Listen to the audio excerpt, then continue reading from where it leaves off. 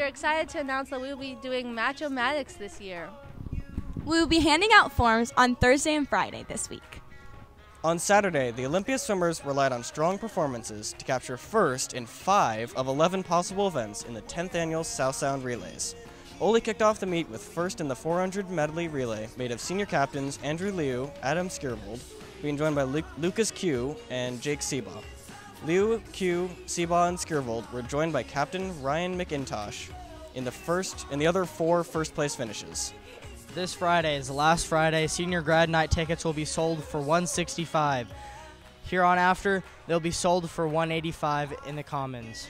that it's about me, but it's alright. We are having French dip sandwich au jus. With curly fries. Today for lunch. Yeah,